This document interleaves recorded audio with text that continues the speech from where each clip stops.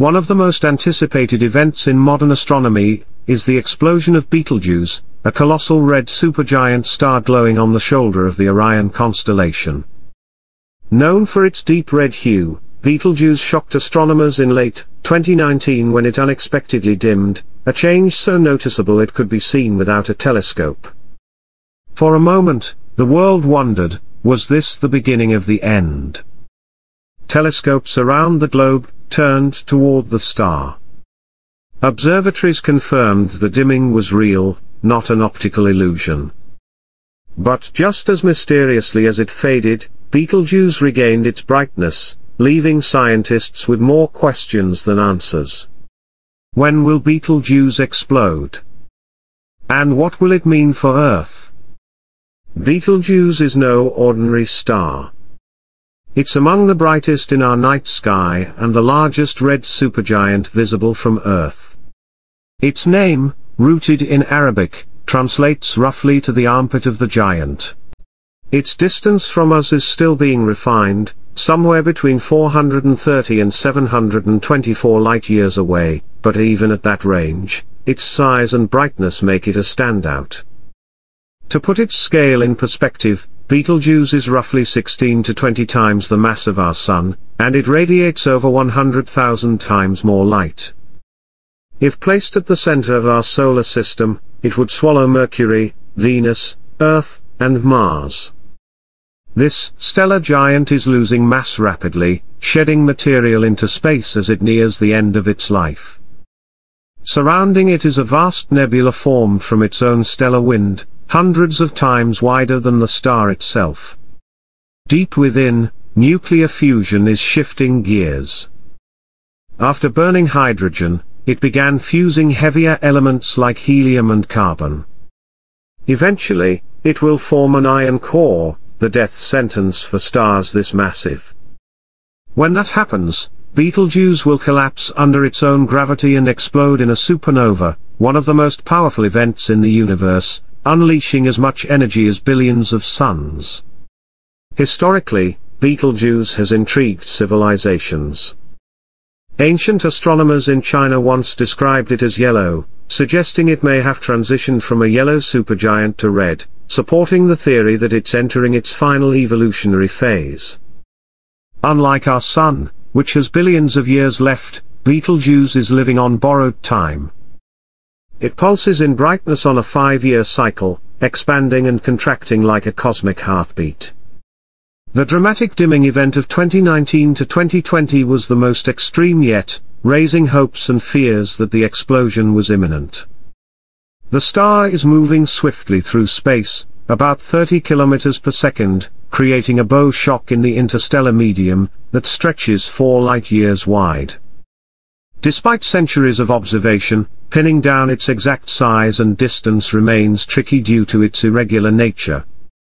In a stunning breakthrough, the European Southern Observatory, ESO, captured a gas plume extending 30 astronomical units from the star, nearly the width of our entire solar system. In 2019, NASA's Hubble Space Telescope observed a rare phenomenon now known as a surface mass ejection, SME, where Betelgeuse expelled an enormous cloud of, in a breathtaking astronomical milestone, the European Southern Observatory, ESO, captured detailed images of a colossal gas plume erupting from Betelgeuse, a plume stretching nearly 30 astronomical units wide. That's roughly the size of our entire solar system, a staggering display of stellar volatility from one of the universe's most iconic red supergiants. But the real turning point came in 2019, when NASA's Hubble Space Telescope detected something never before seen on this scale, a surface mass ejection, or SME. Unlike the coronal mass ejections we sometimes see from our Sun, this event was vastly more violent.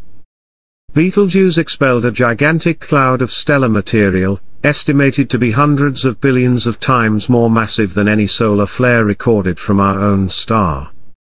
This explosive outburst likely explains the mysterious dimming event observed in late 2019 and early 2020.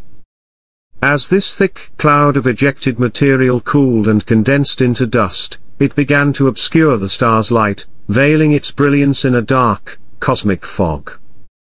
Some scientists believe it wasn't just the dust, there may have also been a partial collapse or disturbance in Betelgeuse's outer atmosphere that contributed to the sudden fade. But the mystery only deepened. By mid-2020, a second dust cloud formed, plunging the star into an even deeper dim phase. This wasn't just a one-off flare-up, it was a pattern of behavior that hinted at complex and possibly unstable processes taking place inside the star. In response, astronomers turned their gaze to the most advanced observatory available, the James Webb Space Telescope, JWST. With its powerful infrared sensors, JWST began peering into the cold, dense clouds of gas and dust that Betelgeuse had thrown into space. Infrared light can pass through dust, allowing scientists to look beneath the veil, and what JWST is now uncovering is offering unprecedented insights into the late stages of red supergiant evolution. Some researchers suspect that Betelgeuse may still be recovering from the violent ejection, its outer layers vibrating, convecting, and shifting as it attempts to stabilize. The star appears to be undergoing pulsations or shock waves, possibly triggered by deep internal changes. These could be signs of helium and carbon fusion progressing, or the early signs of the core approaching the critical mass where iron begins to form, an irreversible step toward collapse and supernova. Whatever the mechanism, Betelgeuse has now become a natural laboratory, giving astronomers a front row seat to the death throes of a giant.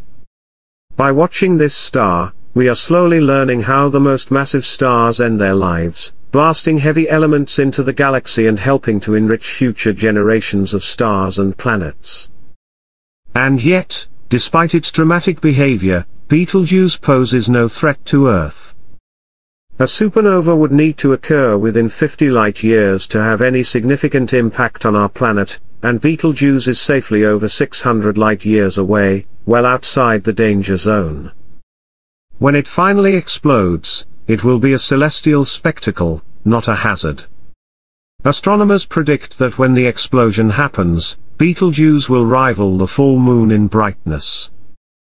It may cast shadows at night, be visible during daylight hours, and shine steadily in the sky for weeks or even months before fading into a lingering afterglow. It will be a once-in-a-lifetime event, one that could be etched into human history, just as the supernova of 1054 left a glowing remnant we still see today, the Crab Nebula. But here's the great cosmic riddle, no one knows exactly when Betelgeuse will go supernova. It could happen tomorrow morning.